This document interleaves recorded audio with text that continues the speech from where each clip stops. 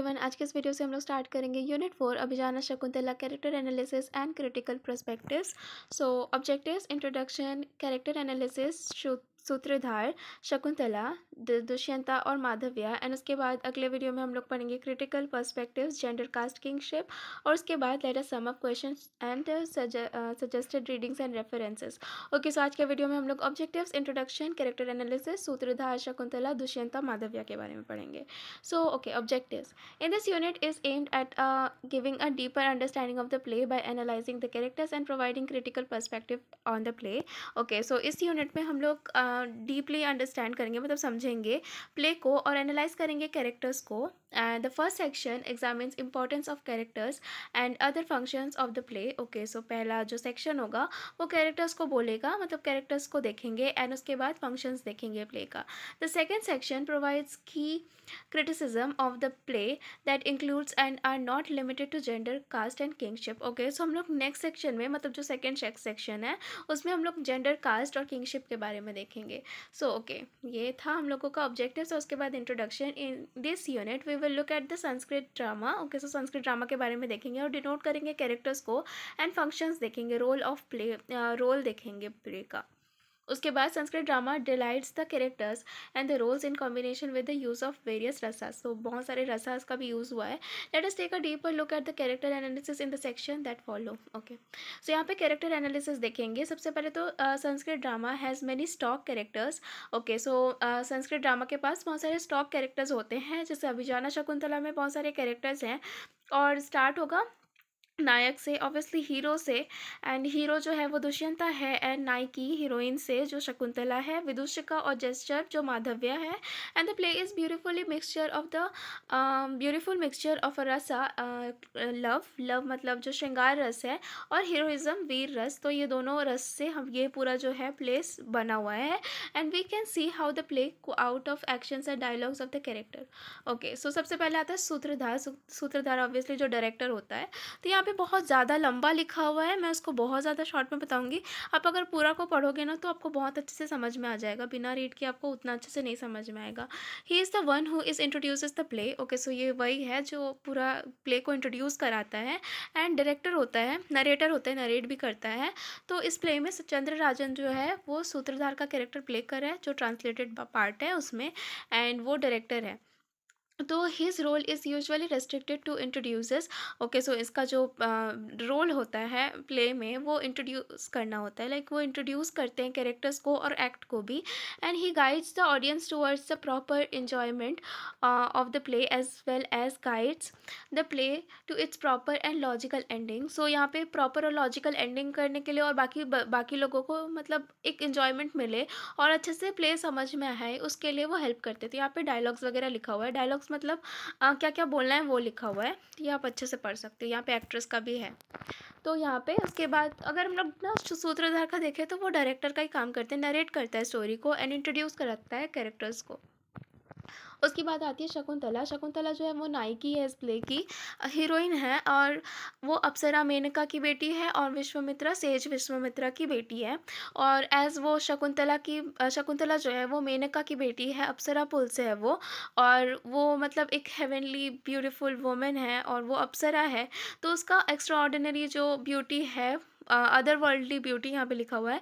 So other worldly beauty जो है वो शकुंतला में भी है। इसीलिए तो जो दुष्यंता है वो बहुत जल्दी से अट्रैक्ट हो गया था शकुंतला को देख के बिकॉज़ शकुंतला बहुत ज़्यादा सुंदर है और बहुत ही आ, मतलब यंग और सुंदर सी वुमेन है।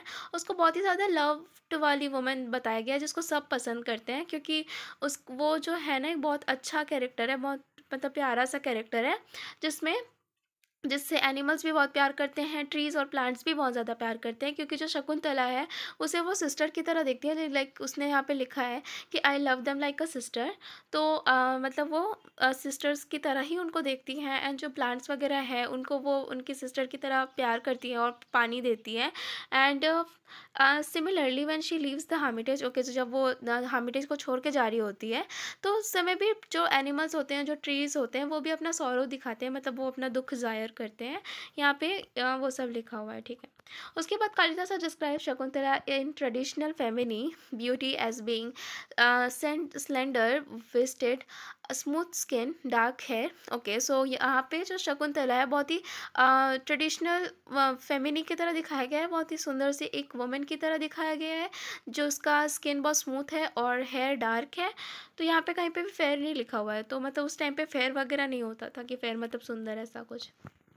उसके बाद लाइक यहाँ पे ऐसा लिखा हुआ है स्मूथ स्किन एंड डार्क है सो या essentially through Dushyanta words we are given a sensual physical picture of the heroine so यहाँ पे बहुत अच्छे से एक दुष्यंता के वर्ड्स में आ, मतलब दुष्यंता जब उसकी तारीफ़ कर रहा होता है ना तो उस उस हिसाब से हम लोगों को हीरोइन का एक प्रॉपर फ़िज़िकल पिक्चर हम लोगों को देखने के देखने को मिल जाता है कि वो शकुंतला जो थी वो कितनी सुंदर थी एंड कैसा मतलब कैसी टाइप की वो दिखती होगी। So in Kalidas play Shakuntala is there for a young girl yet to experience the visual vicissitude to the worldly world okay so कुछ ज़्यादा ही सुंदर थी एंड वो बहुत ही ज़्यादा सुंदर थी मतलब एक्स्ट्रा ऑर्डिनरी सुंदर थी।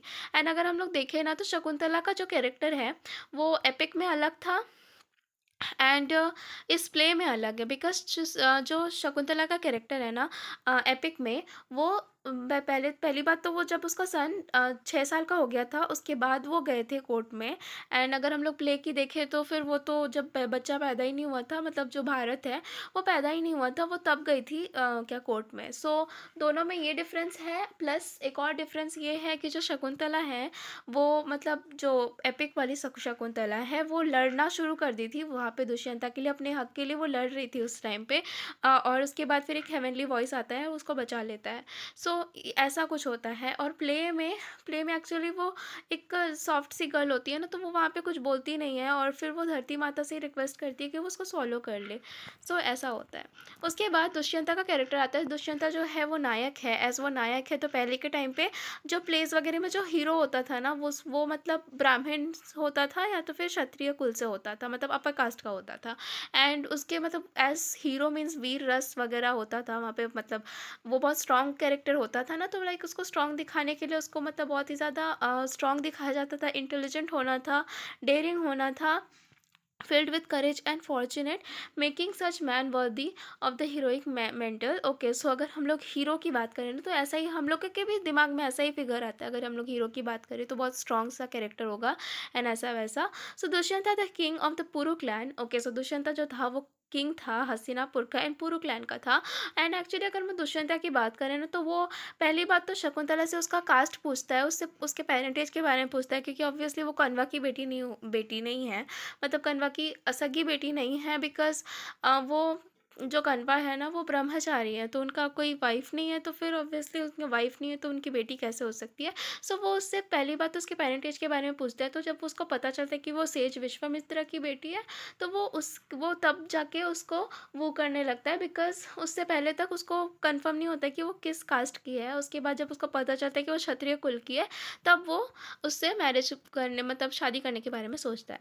तो thus Dushyanta is presented as us as an extremely likeable character I can do no wrong so अगर हम लोग दुष्यंता की बात करें तो दुष्यंता को बहुत ही ज़्यादा लाइक लाइकेबल कैरेक्टर की तरह देखा गया है मतलब पोर्ट्रे किया गया है, जो कुछ भी गलत नहीं कर सकता बिकॉज़ वो जो था ना कि मतलब एक बहुत ही अच्छा किंग था प्लस वो किसी एनिमल्स को हर्ट करता रहता था मतलब हंटिंग वगैरह करता था, पर जब उस मतलब एस्थेटिक ने उसको रोका चैरी ऑटर ने रोका। तो वो रुक गया। इवन उसने उसको हंट नहीं किया। सो, इस बात से चैरी ऑटर भी खुश हो गया था। तो उस, इस बात से समझ में आता है कि दुष्यंता जो है, वो बहुत एक अच्छा इंसान है। वो मतलब वो अपना ड्यूटी समझ समझ चुका था उस टाइम पे कि हम, मुझे किसी स्कैर्ड एनिमल को परेशान नहीं करना चाहिए। एंड जब एलिफेंट्स भी बहुत ज़्यादा परेशान कर रहे होते हैं ना तो वो बचाने के लिए चला जाता है। एंड इसी बात से पता चलता है कि ना, एक दुष्यंता एक बहुत ही अच्छा राजा है। वो अपनी प्रजा की हेल्प करने में कर, करने के लिए हमेशा तैयार रहता है। एंड इवन वो गांधरवा मैरिज एक्चुअली इसमें ना गांधरवा मैरिज इसलिए लिखा गया है बिकॉज़ जो कालिदास है ना वो पोर्ट्रेट करना चाहते हैं कि लाइक जो दुष्यंता है वो मतलब शादी करने के लिए एक्चुअली कन्वा का वेट कर सकता था बट उसने नहीं किया उसने गांधरवा मैरिज कर लिया। एंड गांधरवा मैरिज के बारे में एक्चुअली उन्होंने गौतमी को भी नहीं बताया एंड कन्वा का मतलब कन्वा को भी नहीं बताया। कन्वा जब वापस आ गए थे तो कन्वा को किसी मतलब हेवनली वॉइस ने बताया। सो so, एक्चुअली वो चाहता तो बता सकता था, इवन माधव्या को बताया तो भी उसने मतलब बाद में जाके उसको ये बोल दिया कि वो एक जोक था, जो भी उसने बताया वो सच नहीं है। तो इसीलिए जो शकुंतला था ना, उसके पास मतलब शकुंतला थी, उनके पास कोई भी प्रूफ नहीं था एंड टेंजिबल प्रूफ भी नहीं था। उसने किसी को बताया बताया नहीं था गांधर्वा राइट्स के साथ मैरिज शादी वादी कर ली थी। एंड जो शकुंतला है जब वो जब वो कोर्ट में पहुँची एंड वो अपने बारे में बताने लगी तो जो दुष्यंता है, उस समय बहुत ज़्यादा क्रूअल बिहेव कर रहा था उसने, उसे कुकू भी कहा कि किसी और के बेटे को मेरे, मेरा मेरा बेटा बोल के मत लेके आ जाओ। एंड, और उसका जो बिहेवियर था काफ़ी ख़राब था तो अगर ऐसा भी देखा जाए कि चलो उसकी मेमोरी लैप्स हो गई थी, वो भूल गया था सब कुछ, पर फिर भी उसका जो बिहेवियर था, लाइक एक ऑर्डिनरी वुमेन के साथ भी बात करने का तरीका उसका अच्छा नहीं था।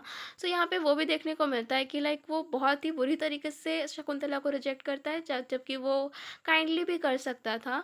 एंड उसके बाद आता है माधव्या का कैरेक्टर माधव्या का कैरेक्टर एक्चुअली दुष्यंता का फ्रेंड का है। वो एक कोर्ट जेस्चर है प्लस दुष्यंता का काफ़ी क्लोज फ्रेंड है। और इतना क्लोज है कि जब राजमाता दुष्यंता को बोलती है रिचुअल्स वगैरह फॉलो करने के लिए तो वो मतलब उसको तो हामिटेज जाना होता है तो वो माधव्या को भेज देता है अपने बदले।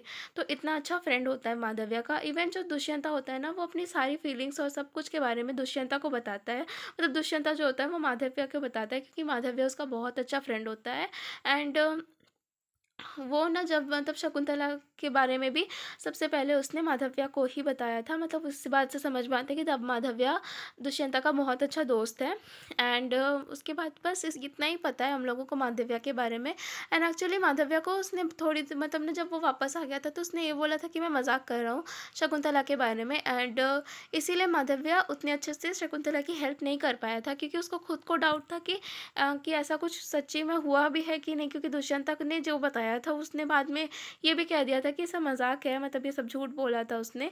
एंड uh, इसी तरीके से ये पूरा ख़त्म होता है जो कैरेक्टर एनालिसिस है आई गेस यही है यही सारे कैरेक्टर्स इंपॉर्टेंट हैं। बाकी भी और सारे कैरेक्टर्स हैं जैसे अनुसैया गौत गौतमी का भी कैरेक्टर है अनुसैया प्रियमवदा उनके फ्रेंड्स थे। एंड uh, उनका भी कैरेक्टर काफ़ी इंपॉर्टेंट है कन्वा है और ऋषि दुर्वासा है। एंड और भी बहुत सारे कैरेक्टर्स हैं जो अभी भी इंपॉर्टेंट है।